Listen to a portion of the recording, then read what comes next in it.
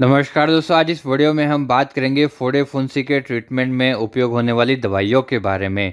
फोड़े फुंसी को सुखाने के लिए कौन कौन सी दवाइयाँ उपयोग की जाती है, उन दवाइयों के बारे में हम बात करेंगे और जानेंगे जो फोड़े फुंसी का इन्फेक्शन है, वो कितने प्रकार का होता है, उसके लक्षण क्या देखने को मिलते हैं और मेडिसिन कौन कौन सी उपयोग की जाती है, उन सभी के बारे में आज इस वीडियो में हम जानेंगे।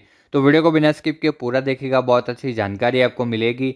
मैं हूँ आपका होस्ट प्रजापति विकास और आप देख रहे हैं जैनी एजुकेशन यूट्यूब चैनल चलिए बात करते हैं फोड़े फुंसी के इलाज में उपयोग होने वाली दवाइयों के बारे में। उससे पहले दोस्तों, आप चैनल पर नए हो तो चैनल को सब्सक्राइब कर लीजिएगा। ऐसे ही नई नई वीडियोज़ आपको मिलती रहेगी।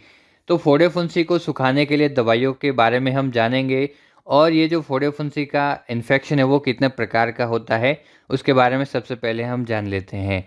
सबसे पहला है इसमें कार्बकल कार्बकल एक प्रकार का फोड़ा होता है और ये फोड़े जैसा दिखता है ऊपर से और इसके अंदर बहुत सारे छिद्र होते हैं। दूसरा होता है इसमें इम्पिटिगो। इम्पिटिगो एक प्रकार का सामान्य संक्रमण है जो कि त्वचा से जुड़ा संक्रमण है और चेहरे पर लाल निशान हो जाते हैं। ये ज़्यादातर छोटे बच्चों में शिशुओं में होता है और ये घाव जैसा दिखता है, जो कि ज़्यादातर नाक और मुँह के आसपास होता है। इसके अलावा तीसरा होता है इसमें सेल्यूलाइटिस सेल्यूलाइटिस बैक्टीरिया की वजह से होता है, जिसका नाम है स्ट्रेप्टोकोकस बैक्टीरिया और इसकी वजह से त्वचा में सूजन आ जाती है और त्वचा लाल हो जाती है।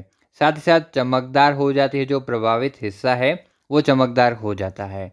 इसके अलावा फोर्थ नंबर पर इसमें जो आता है वो है एरिसिपेलिस और ये भी बैक्टीरिया की वजह से संक्रमण होता है, जो कि त्वचा की ऊपरी सतह पर होता है।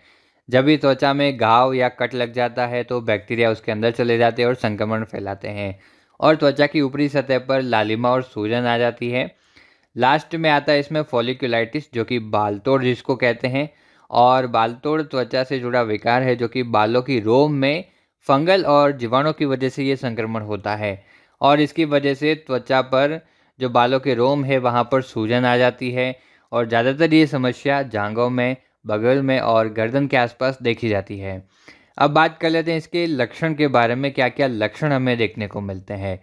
तो त्वचा लाल हो जाती है, उसमें सूजन आ जाती है, पस बनने लगता है ईचिंग होने लगती है और दर्द होने लगता है, साथ ही साथ बुखार भी आ सकता है। अब बात कर लेते हैं दवाइयों के बारे में कौन कौन सी दवाइयाँ उपयोग की जाती है। सबसे पहली यहाँ पर दवाई उपयोग की जाती, वो है कोट्राइमोक्साजोल टैबलेट। ये इसके अंदर ट्राइमिथोप्राइम और सल्फा मिथोक्साजोल आता है। इसीलिए इसको कोट्राइमोक्साजोल कहते हैं। इसके अंदर देखिए ट्राइमिथोप्राइम 160 एम है और सल्फा मिथोक्साजोल 800 एम है। इसको खाना खाने के बाद लिया जाता है और सबसे पहले दो दिन तक इसको सुबह शाम दिया जाता है, दिन में दो बार। फिर उसके बाद सात दिन तक इसको दिन में एक बार दिया जाता है। तो इस प्रकार से ये फोड़ा फुंसी के इलाज में काम आती है। उसको सुखाने के लिए यूज़ की जाती है। दूसरी जो इसमें मेडिसिन वो है ऑइंटमेंट म्यूपीरोसिन ऑइंटमेंट जो कि एक प्रकार की एंटीबायोटिक है, दो परसेंट इसमें म्यूपीरोसिन आता है और म्यूपीसिप के नाम से ये मार्केट में मिल सकती है। हो सकता है कि और भी अदर ब्रांड नेम चलती हो टीबैक्ट के नाम से भी ये मिलती है। और ये जो एंटीबायोटिक ऑइंटमेंट है, ये अप्लाइड करते हैं हम, जो इफ़ेक्ट अफेक्टेड एरिया होता है, जहाँ पर फोडाफुंसी हुआ है, वहाँ पर इसको अप्लाई करते हैं। साथ ही साथ जहाँ रेडनेस हो रही है लालिमा हो रही है वहाँ पर इसको अप्लाई करते हैं।